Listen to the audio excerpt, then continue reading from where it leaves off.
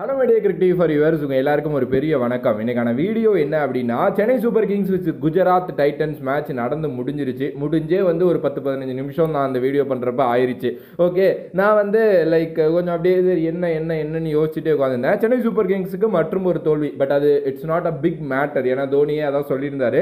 அது எங்களுக்கு பெரிய ஒரு இது இல்லை. ஏன்னா பிச்சு எப்படி பிஹேவ் பண்ணுது அப்படிங்கிறதுக்காக தான் அந்த வெற்றி தோல்வியெல்லாம் வரும் அப்படிங்கிற மாதிரி சொல்லியிருந்தார். ஓகே ஸோ இன்றைக்கி வந்து சென்னை சூப்பர் கிங்ஸ் பெருசாக சேஞ்சஸ் வந்து பண்ண மாட்டாங்க. ரெண்டாயிரத்தி இருபதுல ஒரு பயங்கரமான சேஞ்ச் ஒன்று பண்ணாங்க.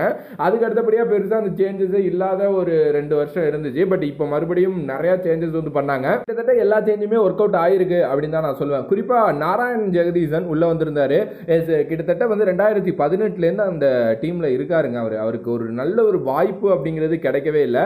எஸ் இது வரைக்கும் மூணு மேட்ச் பேட்டிங் விளையாண்டுருக்காரு. இன்னைக்கு விளையாண்டதை விட ஓகேவா ஸோ அந்த மூணு மேட்ச்சில் ஒரு மேட்ச் தேர்ட்டி ஃபோர் அண்ட் இன்னைக்கு ஒரு தேர்ட்டி நைன் இதுக்கு இடையில ஒரு மேட்ச் வந்து டக் அது வந்து அந்த லைக் மும்பையோட ஒரு மேட்ச் எல்லாருமே அவுட் ஆயிடுவாங்க சுட்டி குழந்தை சாம்கரன் நின்று அடிக்கிற மேட்ச் இதை தவிர அவருக்கு வாய்ப்பே பேட்டிங்கில் வந்து கிடைக்கவே இல்லை. அண்ட் மேட்சஸ்லையும் கிடைக்கல அப்படிங்கிற பட்சத்தில் எஸ் அவர் அவருக்கான அந்த ஃபார்மை கரெக்டாக கொண்டு வரணும். அண்ட் லைக் அவர் விளையாடணும்னு எதிர்பார்த்துருந்துருப்பாரு. அது இன்னைக்கு நடந்துச்சு.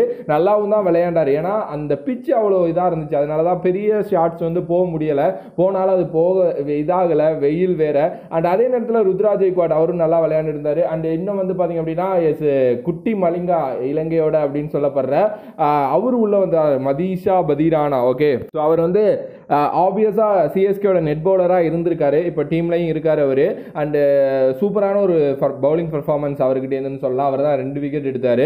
அண்ட் அவரோட லைக் அந்த ஸ்டைல்லே வந்து பார்த்தீங்க அப்படின்னா விக்கெட்ஸ் வந்து விழுந்துருது டக்குன்னு கெஸ் பண்ண முடியல.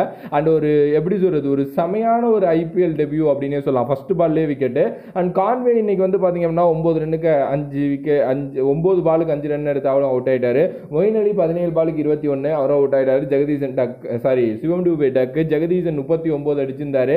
அண்ட் தோனி வந்து பத்துக்கு ஏழு ஸோ ஸ்கோர் நூற்றி முப்பத்தி மூணு தான் அடிச்சிருந்தாங்க. ஈஸியான டார்கெட் அதை முடிச்சிட்டாங்க. இன்னும் ஒரு பத்து பதினஞ்சு ரன் ஷாட் அதுதான் உண்மை. அது அடிச்சிருந்தா மேபி மேட்ச் கொஞ்சம் மாறி இருக்கலாம். விருத்திமன் சாகா அறுபத்தி ஏழு ரன் ஐம்பத்தி ஏழு பாலில் எட்டு ஃபோர் ஒரு சிக்ஸ் நல்லா விளையாண்டாரு. குறிப்பாக அந்த பவர் பிளேயை பயங்கரமாக யூஸ் பண்ணாரு.